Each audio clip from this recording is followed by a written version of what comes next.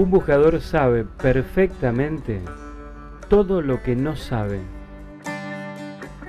Por eso está en la búsqueda. ¿Qué voy a hacer con tanto cielo para mí? Voy a volar, yo soy un bicho de ciudad. ¿Qué voy a hacer? ¿Cuál es el camino a seguir? Bienvenidos, ¿qué tal? ¿Cómo les va? Ingreso al hotel donde vive alguien que tiene muchas certezas y también algunas dudas. En este caminar hacia la primera entrevista del ciclo 2011, la invitación es a pararme frente a un espejo y decir, bueno, a ver quién soy, ¿no? ¿Cuántas veces usted y yo nos paramos frente al espejo y vemos reflejado a alguien que tal vez ya no somos o alguien que estamos buscando? A mí se me ocurre que él encontró a quien está buscando. Se los presento. Tiene 73 años, nació en La Plata. Su primer amigo en Buenos Aires fue Troilo.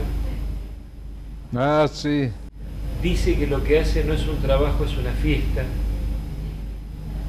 No soy de aquí ni soy de allá, debe tener más de 700 versiones, incluyendo a Homero Simpson.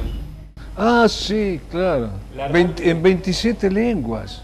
La radio lo llamó una vez para preguntarle si quería que le regalara un televisor finito. Ah, qué lindo, de eso que se ve como en la cancha. Charló con García Márquez, lo invitó a comer, tuvieron seis horas. Es, no fue, es hijo de una portera de la escuela número 7. Claro. Sueña con hacer un diario y un semanario manuscrito. Perdóname, ¿sabes por qué yo digo que soy? Porque me quedó eso de García Márquez. Cuando García Márquez le pregunta, le pregunta, ¿quién es García Márquez? Dice, yo, yo soy el hijo del telegrafista de Aracataca. Eh, vive hace muchos años en hoteles. 51 años. Recorrió 165 países más o menos. No, exacto. ¿Y qué pasó el 24 de febrero de 1954? Esa es la primera pregunta. Nací. ¿Nada más? Nací porque la gente, el registro civil o no sé qué, cómo le llamas, para ellos yo nací el 22 de mayo de 1937. Pero en realidad uno nace cuando está consciente que está en este mundo. Hay gente que va de la cuna a la tumba sin enterarse que está vivo. Hago un parate ahí. Yo quería solamente. Es un papel, datos. Yo lo voy a tirar acá. Y ahora sí. Mira, ahí tiraste 73 años. 73 años en un papel. En un- Y sabés que sí, porque la vida de un ser humano es una hoja en el libro del universo, ¿viste? O de la galaxia, a lo mejor ni siquiera llega a tener una difusión eh, eh, interestelar. ¿Qué pasó el... Sí.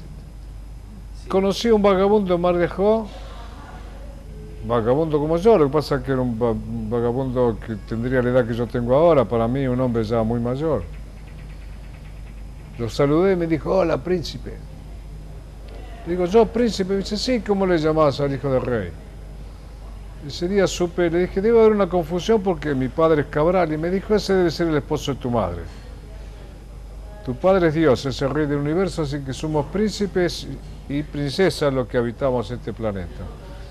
Tuve la noticia, fue tan grande esa noticia, me sentí por primera vez que estaba presente en el mundo, que estaba vivo y me escribí mi canción de cuna, pero sin sospechar que iba a ser artista. Esa canción hoy se canta en 14, 15 idiomas. Los Simpson también, cerca de la Navidad. Ellos cantan, Homero canta no soy de aquí ni soy de allá, pero a veces, cerca de la dicen, en esta fecha me siento una buena persona y se me ocurre cantar y canta huele bajo en inglés, un pedacito como Simpson, ¿viste?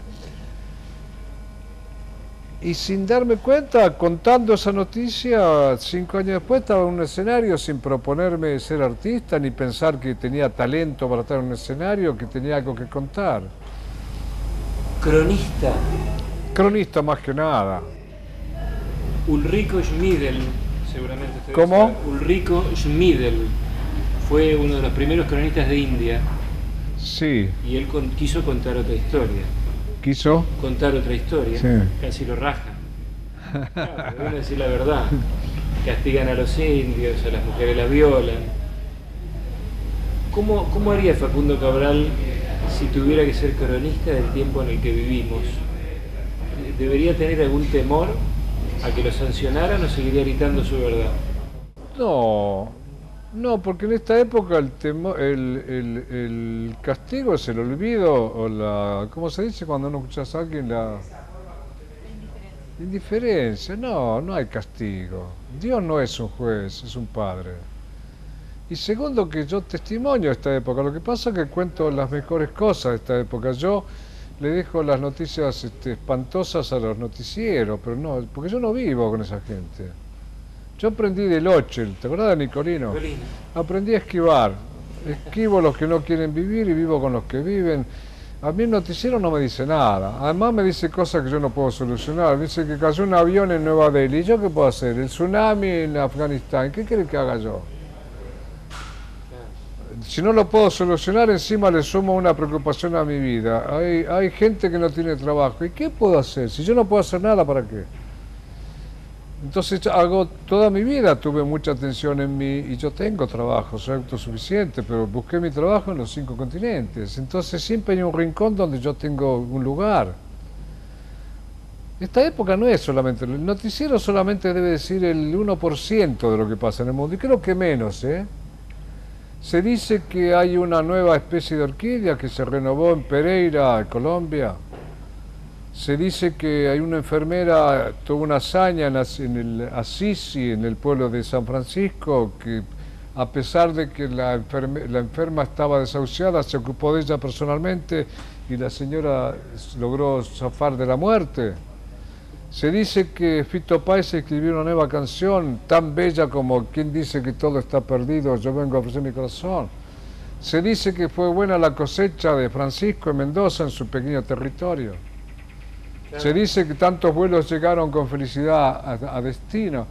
Lo que uno cuenta es la, son los aviones que llegan a destino, porque la vida es un sí, no es un no. el no no existe en la vida. Nosotros nos ponemos yo soy hincha de Boca y estoy triste porque le ganó porque River le ganó, pero esa es una superstición mía. Si me gusta el fútbol, yo no festejé el 86 en México, por lo tanto no, ¿por qué no? Porque, pero no sufrí el 90 en Italia, porque me gusta el fútbol. Un día me dijo Borges una cosa extraordinaria. me dijo, eh, eso lo, tenemos que poner. Dijo una cosa extraordinaria, dice, eh, los, los, los argentinos eh, están seguros de que el deporte nacional es el fútbol, y, eso es un gran error. Y le digo, maestro, pero ¿cómo se puede negar que el fútbol es el deporte de los argentinos? Me dijo, no, a los argentinos no les gusta el fútbol, a los argentinos les gusta que su equipo gane. Son dos cosas diferentes. Totalmente, claro. Yo, a mí me gusta mucho la Ferrari, pero a mí no me mata que gane este Red Bull, porque me gusta ver las carreras. Con la vida es igual, nunca pude amar a una sola mujer. Ah. Nunca pude vivir en un solo lugar. ¿Por qué, ¿Por qué me voy a negar todo lo que hay alrededor, que es extraordinario?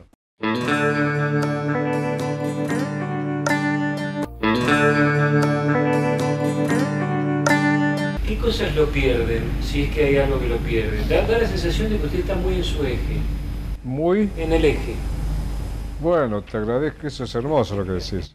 Pero... Es muy difícil que yo te diga eso porque es muy difícil que uno se vea con tanta claridad, pero me halaga profundamente. Yo, creo, que es la primera vez que me dice una cosa así. Bueno. Que uno está en su eje. Estoy, estoy muy bien conmigo. Eh, porque voy hacia los poquito tiempo cumplo 74. ¿Por qué? Porque fui honesto con mi corazón, porque siempre hice lo que amaba.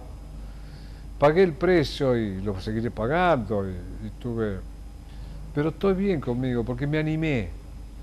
Este, nunca, nunca te arrepentirás de haberlo hecho y como nunca te perdonarás no haberlo intentado. Yo lo intenté. Entonces estoy tranquilo. Yo soy de los que se va de este mundo en paz, porque pasé por todas las batallas, principalmente con uno mismo. Yo venía de... No había ninguna... Yo no era un tipo como para hacer ilusiones. A mí me cambió el arte. Nací casi para un desastre que era como la crónica de un desastre anunciado, ¿viste? Sí. Y sin embargo, mira, ¿y por qué cambió? Porque yo puedo decir una cosa que suena muy soberbia, pero la puedo decir. Eh, soy libre y feliz. Eh, aprendí que la felicidad es una decisión, no es porque pasó tal cosa. Y puedo llevar, he pasado cosas tan duras, realmente duras que no me mata el dolor, aprendí, que es un aprendí mucho del dolor, es un maestro. Hoy mismo físicamente, para mí es muy difícil vivir físicamente, pero muy, muy difícil, ¿eh? más de lo que pensás. Y sin embargo, viste, vos me escuchás con queja.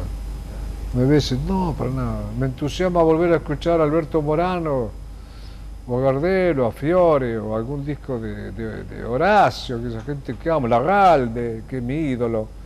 Y como me gusta escuchar a los redonditos de ricota y me gusta quedarme en silencio, leer la Divina Comedia o qué sé yo.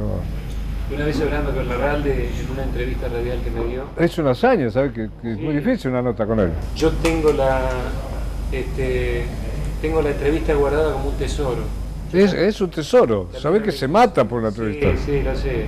Y me dio medio, lo agarré de sopetón. Lo apuramos porque no quería salir, es retobón. Allá cuando va la plata se llenan los boliches con los caballos, los paisanos que van de todos lados, ¿no? Llena cada vez que va En todos lados. Y en la nota yo le hablaba de que mi viejo, cuando yo era chico, yo tengo más de 40, mi viejo me llamaba y me decía, vení, mi papá vive y tiene 84, me decía, vení, escuchá y aprendé. Ah, y era Larralde. Yo era chiquito. Cuando yo le dije a Larralde me dijo, este, ¿y qué podés aprender de mí? ¿Qué qué? ¿Qué podés aprender de mí? No, yo le agradezco a tu viejo que ha sido tan bueno conmigo, pero yo no puedo enseñar nada. Facundo Cabral, ¿puede enseñar algo a los 73 años? Contagiar. Contagiar, ah, hay diferencia. Contagiar, la gente, yo lo veo en el teatro cuando sale. Sale eufórica. Sí. Es, eso, por eso me da tanta felicidad ir al teatro. Sale muy entra bien, cuidado, porque uno si va porque le interesa lo tuyo, pero entra bien, y con, llena de amor y de afecto, pero sale, la gente va corriendo a los libros que están afuera, pero corriendo, hasta hay peleas. Y la gente te dice, escuchándolo usted, decidí no abortar y mi hija tiene ya 14. Escuchándolo usted, mi padre dejó el alcohol. Usted sacó a mi hijo de la droga, que estaba en la heroína, y escuchándolo, nunca fue una cosa que uno se propone. ¿eh? Yo siempre conté mi experiencia y lo que uno ha pasado por todas esas cosas, si no la droga, el alcohol cuando era muy pibe, por ejemplo, todas esas ideas y esas vivencias, puedo dar testimonio y eso es contagioso. Ahí sí, enseñar no. Eh, bueno, Sócrates, te acordás, termina diciendo solo sé que no sé nada. Para los griegos, maestro no era el que enseñaba, sino el que siempre aprendía. Pero a mí me aclaró mi oficio, el oficio de la Madre Teresa. Donde estaba ella siempre había un montón de periodistas. ¿Quién no quería dar testimonio de una santa que andaba caminando por el planeta? Y esto fue en Nueva York. Fue a inaugurar la primera casa de las madres, de las hermanas de la caridad en el Bronx. Y yo estaba al lado y había algunos periodistas que me conocían por mi oficio. Uno le preguntó, dice, madre tiene amigos artistas, le dijo. Y la madre dijo, ¿quién? Facundo. No, dijo, Facundo no es un artista, es un testigo. Es un testimonio de lo que puede hacer Dios si te dejas llevar por él. Y dije, ah, caramba, madre, le agradezco y supe cuál es mi oficio, porque yo no me encontraba, me gusta, me, siempre me pusieron con que la nueva canción, que la canción testimonial, que qué sé yo. Y bueno, esas botas son tentadoras porque Silvio Rodríguez, Pablo Milanés, los textos de Jaime Davo, no hablemos, Yupanqui, Larralde, eh, gente maravillosa, Armando Tejada Gómez, este, los versos de Martí que cantan los cubanos, qué sé yo. Pero yo no sentía que eran mis botas, que me quedaban grandes o no sé, algo no era lo mío, eran lindas las botas. Pero no estaba del todo cómodo ahí, esto no es, no es mi bota. Ese día supe que siempre había subido al escenario a dar un, lo que yo no me animaba a llamar un testimonio. Entonces sí, puedo contagiar. Eh, yo voy al teatro por mí, no voy por la gente al teatro. Eh. No, yo me debo a la gente. No, no, no, no. Yo voy porque a mí me da mucha felicidad. Ahora sí, sí siento, veo que contagio esa felicidad a la gente en el teatro, entonces sí, ellos y yo nos vamos felices. Entonces tenía sentido que nos juntáramos porque los conciertos terminan, en mi caso, convirtiéndose en una comunión. Esta es una religión sin dogmas, sin supersticiones, sin prejuicios, sin divisiones. La verdadera religión, religar, armonizar diferencias.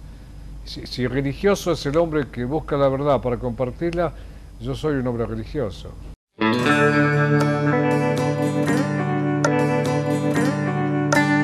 La Madre Teresa lo, le dio primero el orden y le dijo lo que usted era. Y también, de alguna manera, lo catapultó a seguir sosteniendo esa responsabilidad. Sí, pero yo no, no, es un esfuerzo, ¿eh? ¿sabes por qué? Porque te lleva a la fuerza natural. El esfuerzo es artificial, no hay por qué esforzarse, hay que dejarse llevar por la fuerza de la vida. Yo vivo sin ningún esfuerzo y... A ver, si vamos a hablar de lo físico, de lo así material, de lo muy contundente, de lo que está acá a la vista, no hay ningún médico, del, no hay un oncólogo que te pueda decir, mira, eh, va a estar un rato más, va a estar un rato menos. Yo estoy acá, hace en el último año tres operaciones en 11 meses. Vivo de milagro. Sin embargo, la alegría no se retiró de mi vida. Es decir, estoy tan cómodo con mi verdadero ser, no porque sienta que valgo la pena, que soy, como dicen en México, el chingón de la pradera, como que... No, para nada. Estoy, al contrario, es un dato de humildad grande.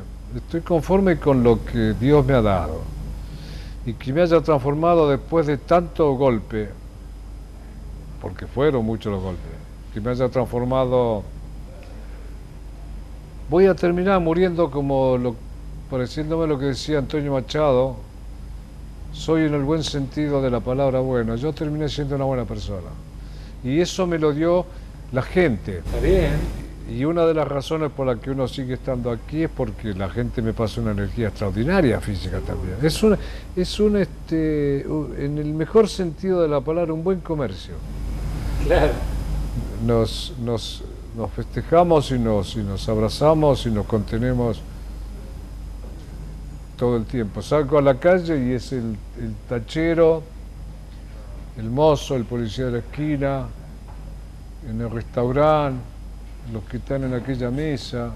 Vivís mimado, entonces decís, caramba, es emocionante. ¿Por qué todo esto? Porque sembré amor. Ni hablar, y está recogiendo lo que sembró. Sí. Y está bien, y se lo merece, y hay que aceptarlo. ¿Y por qué no decirlo?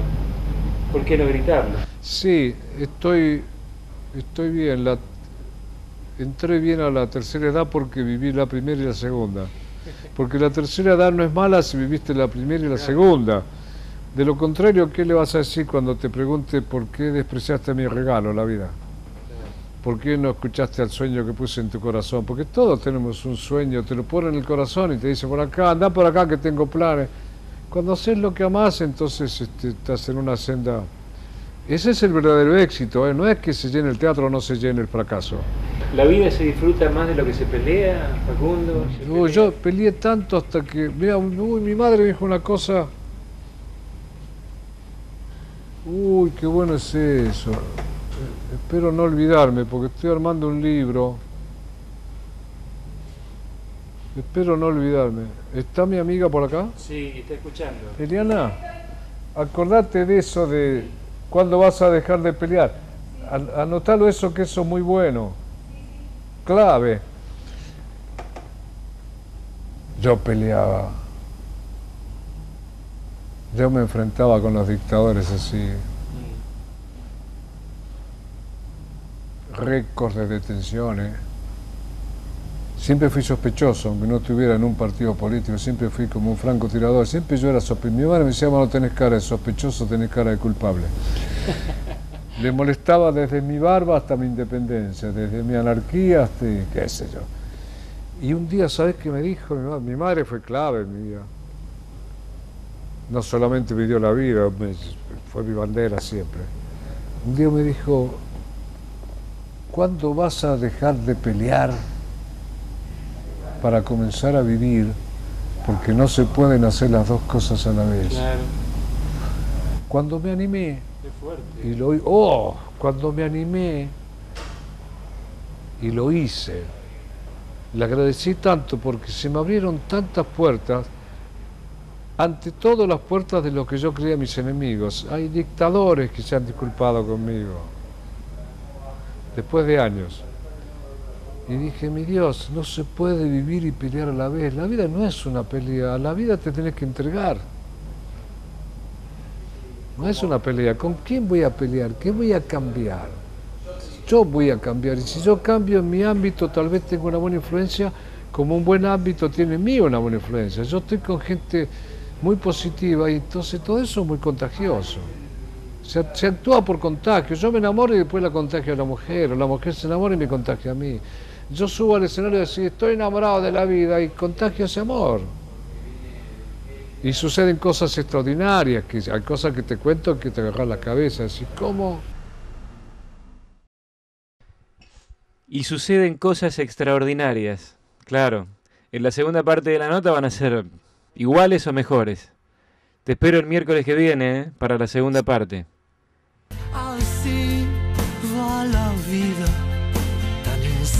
vista fugaz y voraz, tan desordenada, desproporcionada, tan inesperada, desafortunada, tan irresistible, tan imprescindible, tan preciosa, tan sucia, tan bella, tan puta. Así es la vida.